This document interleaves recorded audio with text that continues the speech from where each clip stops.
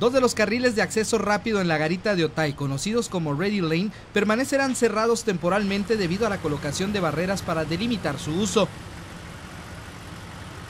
Esta acción se decidió ya que muchas personas que no cuentan con documentos para usar este carril se formaban, causando retrasos a los usuarios. Se van a ampliar como 300 metros más el carril, más que nada es para tenerlo confinado, ¿no? Para que la gente que se meta desde más atrás ya sepa que va por ahí, porque lo que pasa es que muchas veces empiezan a bloquear el carril gente que no tiene nada que ver ahí y se pierde mucho el tiempo. Sin embargo, este cierre temporal se une a la preocupación del sector comercial en torno a retrasos en los cruces fronterizos por el cierre de carriles en Otay y en San Isidro.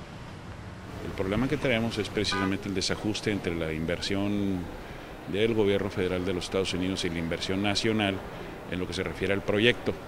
Se va a evitar a toda costa el cierre de la Puerta México, se va a encontrar una solución alternativa para que de una manera gradual pueda continuar el flujo y no nos afecte o nos afecte lo menos posible a, a la región.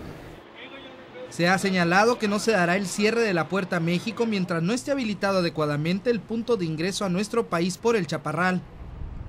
En el proyecto se contempla que ya cuando esté funcionando el Chaparral, que estén los 22 carriles funcionando, pues que ya no tendría sentido tener abierto Puerta México, ¿no? Todo el tráfico se estaría canalizando para allá.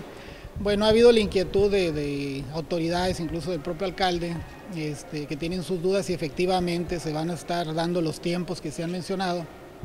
Entonces, una alternativa que se planteaba es, bueno, pues si vas a abrir el Chaparral, pues no cierres Puerta México, déjalo abierto, vamos haciéndolo de manera gradual y en la medida que veamos que Chaparral funciona como dicen que funciona, pues ahí cerramos Puerta México cuando se tenga que cerrar.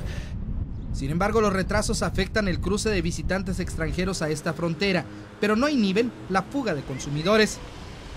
Es un inhibidor, prácticamente mínimo el que, lo, que, lo que inhibe que realmente hagas una, una, una línea de espera de, de, una hora, de dos horas o de tres horas. ¿Por qué? Porque siempre pues, la demanda del producto este, eh, que por, el cual muchos ciudadanos fronterizos recurren a Estados Unidos obedece a las necesidades del bolsillo de los baja californianos. ¿no?